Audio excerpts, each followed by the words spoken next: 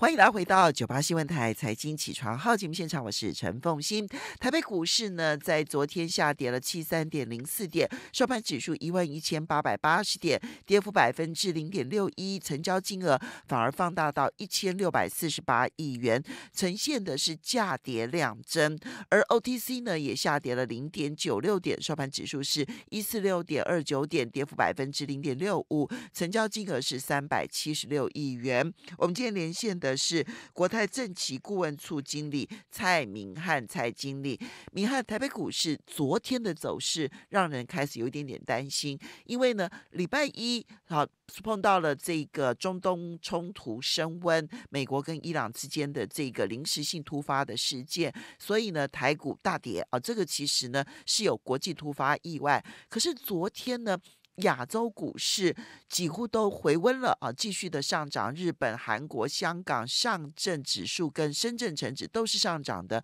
怎么台北股市昨天反而跌破月线，而且是价跌量增，有没有问题呢？您的看法？OK，凤青听众朋友大家早，刚刚提到重点哦，确实在这个所谓呃这个美一。这个纷争的一个情况下，导致国际股市有一天的拉回哦。但台股来讲，在昨天独弱，那这块来讲，确实从这去年第四季哦，台股独强状况有稍微呈现反转的一个味道，所以大家当然市场会有点担心啦。那加上昨天有几个比较重要的重点，就是这个指数呢，在前一天已经跌破，在刚好收在这个月线下，昨天突然持续往下走，就技术面来讲，有这个破线的一个味道。那另外一个是这个市场信心指标，就是 OTC 指数哦，近期来讲也连日不断的持续创低，所以呢显示说这个市场的氛围已经开始明显的一个转变，所以大家会担心这个到底在跌真的还是跌假的哦？那我们就可以跟大家分析为什么会有这样的结构。第一个，大家这个北一战争，可是可以看得出来，这个只是一个。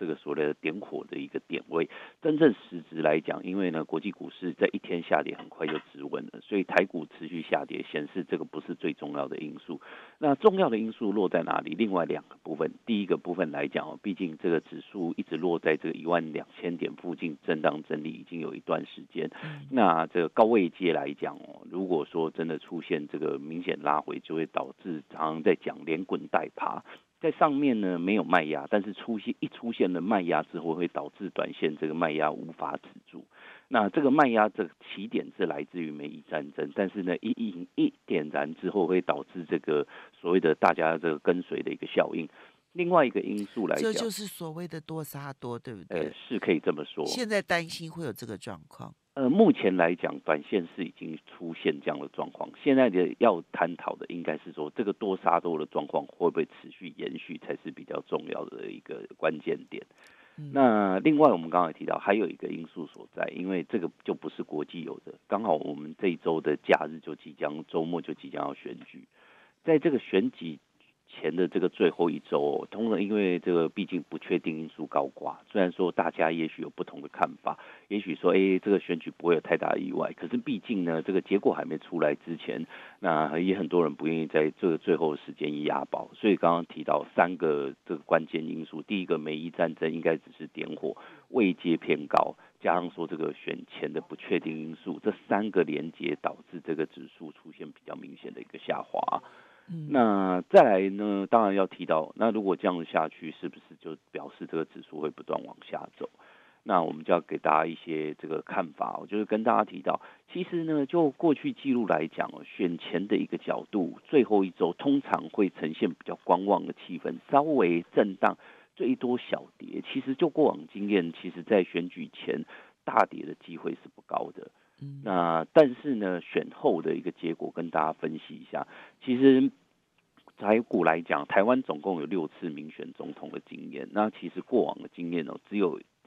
二零零四年，当时这两颗子弹刚好选举出来，结果跟市场原本的预期大为的不同，导致在选后之后呢，股市重挫之外，其他大部分都是呈现小涨。大家也不用期待有多好的表现。跟大家讲，选后一周会呈现小涨。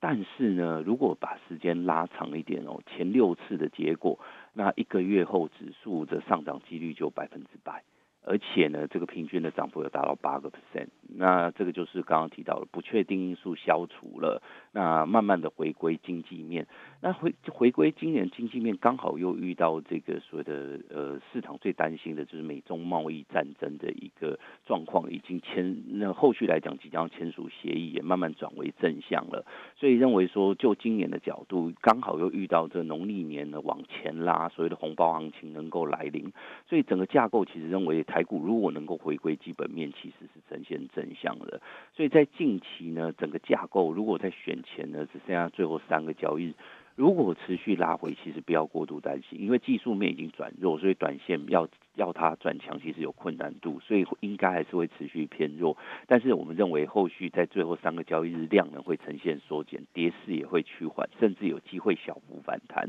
那我们认为说，建议大家在这近期震荡拉回的时间点，不用过度担心，认为指数呢在选后应该就会慢慢有比较好的一个表现机会喽。所以你觉得现在最好的方式就是在某一个位阶上下来回震荡整理？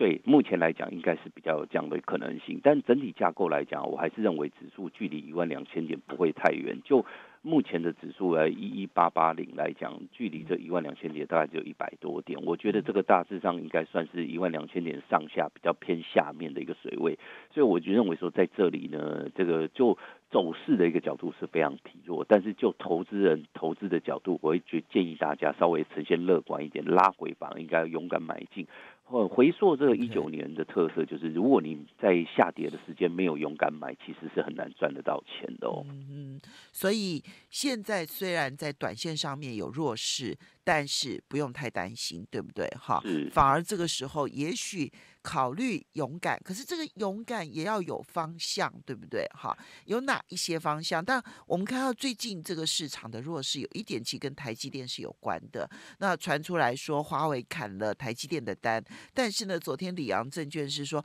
不是华为砍了台积电的单，应该是台积电砍了华为的单。好。无论如何，这个到底会如何影响我们的投资选择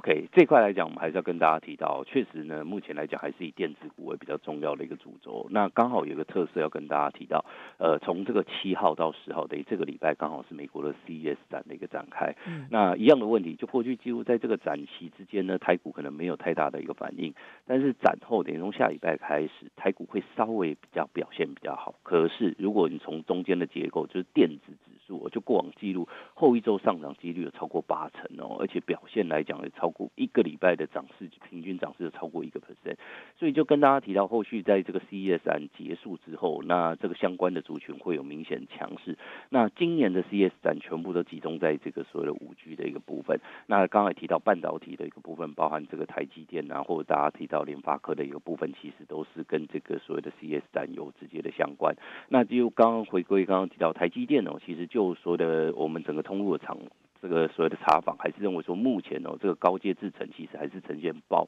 爆单的一个状况，所以到对基本面倒是不用过度担心。所以呢，整体架构认为五 G 族群呢，除了刚刚提到的半导体之外，包含其他的被动元件或者是其他的这个所谓记忆体，都是短线比较强势，后续有机会强势。固然在昨天哦，因为营收不佳，被动元件达到。跌停的一个状况，但是我们提醒大家，在这里不用过度担心，只要等待这个下跌呢出现量缩，那价止稳之后，我建议大家还是可以介入，认为这个短线的趋势不会改变。那下礼拜只要止稳之后，这样的指数止稳开始转强，我们认为这五 G 相关的族群应该都还是这个市场比较重要的主流。嗯，所以那这里面有没有它的节奏顺序呢？呃，认为来讲哦，其实我觉得说这个重点就是这个介入的时间点，因为近期呢，这个指数在拉回的时间点，这五 G 都是修理的对象。那就是跟大家提到，第一个重重点的部分，价还倒还不用担心，重点一定要看到量能已经开始缩减。那价能够开。只要看到量能缩减，就应该第一笔的资金先行进去试水温。后续只要价呢在连续三天没有再破底，就应该要持续做加码动作。认为只要指数呃能够反弹来讲，这些都是反弹的要角。好的，我们要非常谢谢国泰政企顾问处经理蔡明汉蔡经理。